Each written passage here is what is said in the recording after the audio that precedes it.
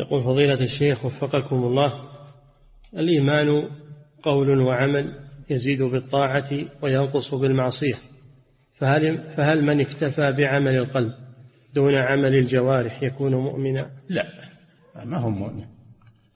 هذا ما هو مؤمن الكفار كما سمعتم يعتقدون بقلوبهم لكن أبوا أن يعملوا وأبوا أن ينطقوا. نعم.